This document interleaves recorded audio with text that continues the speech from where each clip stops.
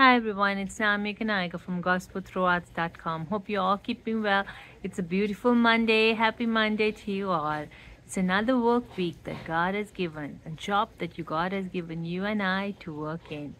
It is a blessing to have a job. It is a blessing to have a career.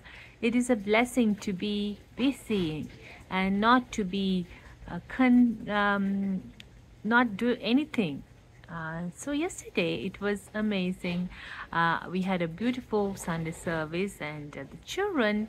Um, we had a lesson that uh, I taught the children, and it was about um, in Proverbs, the book of Proverbs, where King Solomon uh, instructs what God says of a man who's lazy, a sluggard, a sloth, someone who is very lazy and complacent and the book of proverbs i think chapter 26 there was a lot of sayings where even the lazy man doesn't want to have the prepared food just too lazy to eat it.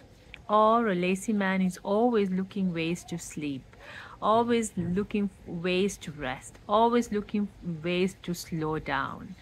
Um, so the book of proverbs um, where god is giving every one of us instructions and we can see that sometimes even you and I as well we we sometimes want to have it easy.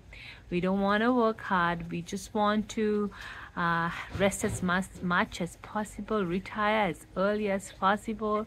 You and I we are the same. We want to rest and relax and not do only the minimum that is needed. But sometimes God wants us to do our best and not to be lazy, not to be um, uh, just complacent and just uh, just relax and not be you know, doing the work that God is asking us to do.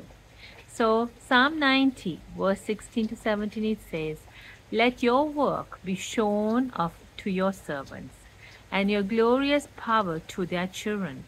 Let the favor of the Lord our God be upon us, and establish the work of your hands upon us. Yes, establish the work of our hands. My brother and sister, the work of our hands, God has given every one of us the ability to work. Um, we might be a teacher, we might be a banker, we might be an accountant, we might be a, a, a doctor, a nurse, a housewife, whatever that is sometimes it's easy to rest too long and not to um, be working hard. So maybe we might be complacent and not uh, do the uh, work at, at our housework that need to be done. We might postpone it or we might delay it. We might be lazy. And the book of Proverbs and God is instructing us not to be lazy Sometimes we all need a break. Sometimes we want to take a break. But God is saying, use that hands that I have given for God's glory. You are placed by God in your workplace, in wherever God has put you. May God reward the work of your hands.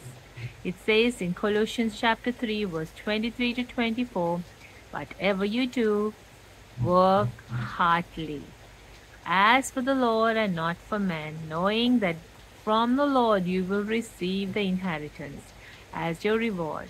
You are serving the Lord Jesus Christ. My brother and sister, whatever you do, you might be a housewife, you might be a doctor, you might be a nurse, you might be a accountant or a banker or a teacher or, or just a retired grandma or whatever that work that you are doing do it heartily, knowing that the work that you're doing is for God and not for man. God will reward you. The man will not reward, the boss will not reward you, but God sees your hard work. God will reward you. So, yesterday, for the children, when I taught them the class and taught them that uh, do not be a sluggard, just like the proverb is telling us, um, for the children to grow up learning that working hard is good, even though vocations are good and beneficial for our body and mind and soul. But we know that after vocation, we need to come back and work hard. Work hard to pay our bills, work hard to make a living, work hard for the kingdom of God. That everything we do is contributed to the kingdom of God, to winning souls for the kingdom. That whatever we can offer as a tithe and offering to God is making an impact to the kingdom of God. So just because you pay your bills and you don't see the money work, remind yourself that God sees everything. God will reward you, reward your hard work. You and I, we are set apart for His kingdom. And let's do everything without grumbling. Philippians chapter 2, verse 14 to 16, it says, Do all things without grumbling or disputing, that you may be blameless and innocent, children of God without blemish, in the midst of a crooked and twisted generation, among whom you shine as lights in the world, holding fast the word of life, so that in the day of Christ Jesus I may be proud that I did not run in vain or labor in vain. When I labor and run, not in vain. God sees everything. So do not grumble, do not complain, do not have any disputes among one another. Be blameless and innocent children of God.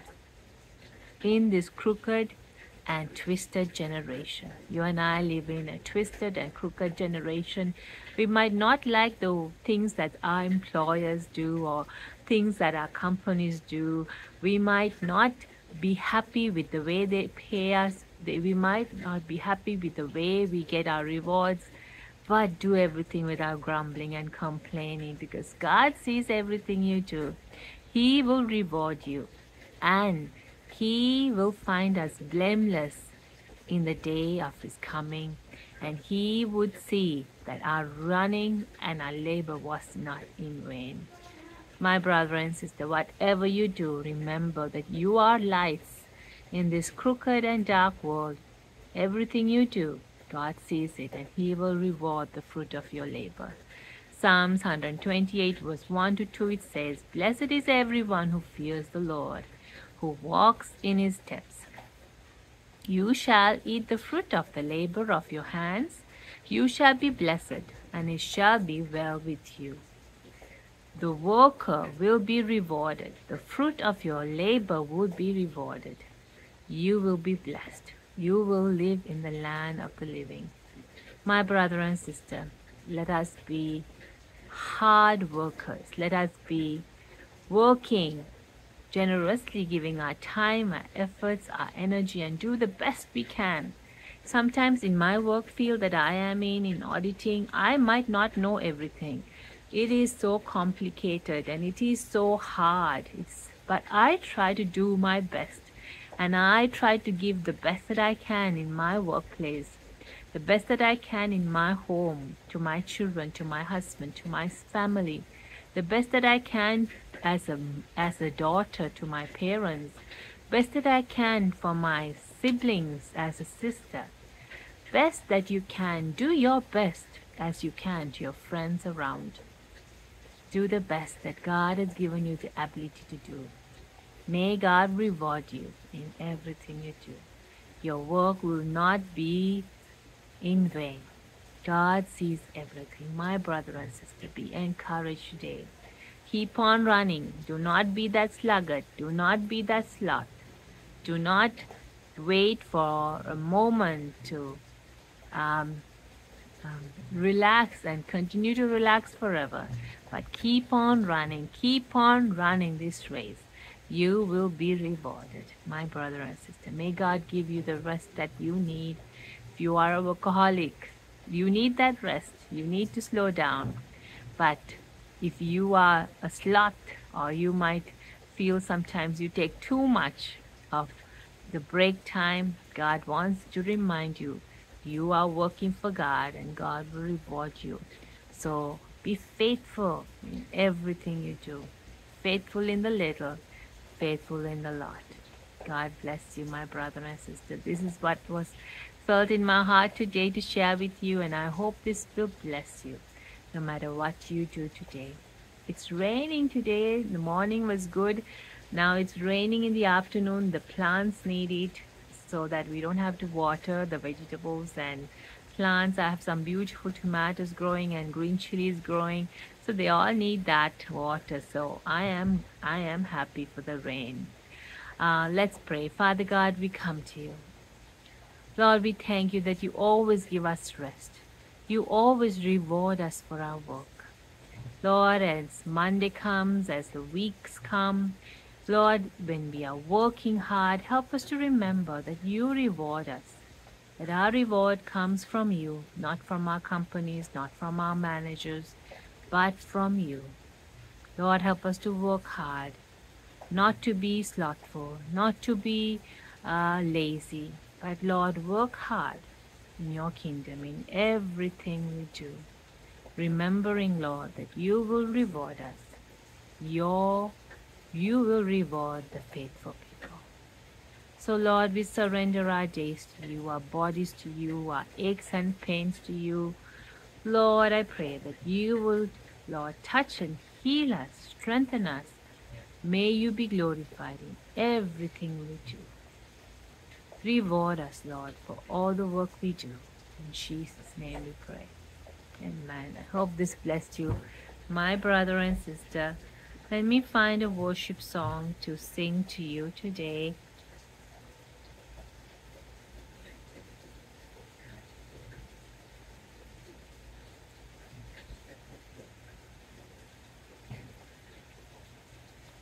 I just had a song in my heart and just went away from my uh,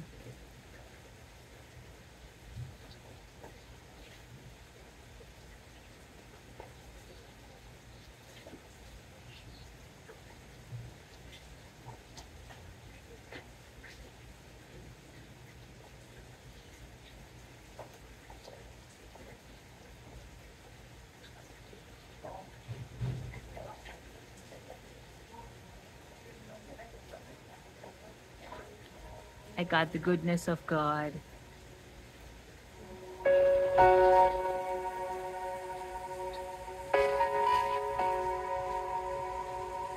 I love you, Lord, For for you, your mercy never fails me. And All my days have I've been held in your hands. Moment that I wake up until I lay my head, oh, I will sing of the goodness of God. All my life you have been faithful. All my been so, so good. With every breath that I am able, oh, I will sing of the goodness of God. you won. My brother and sister, will you praise Him today in your difficult work day, in your hardships, in everything you might face? Remind yourself, encourage your soul, encourage yourself. You are working for the kingdom of God, for His righteousness. God will reward the worker. God will reward you. Trust in Him. He is so faithful. If you need the rest today, rest in Him. If you need the joy today, find the joy in the Lord Jesus today. Have yourself a wonderful week. God bless you. And um, this week, I think I will be going downtown on Wednesday and Thursday. So uh, tomorrow, I'll be home and I will be doing um, my devotional from home because we have a meeting that we usually have. It's been put to Wednesday and Thursday. So this week is going to be a busy week. I will do all the best I can. And as you too do your best in your workplaces, in your homes, in everywhere you are, may God reward you. May God give you the blessing that you need. May your bank account will never be empty. May your needs be met. May God send help to you. May God send you help. Have yourself a wonderful day. God bless you.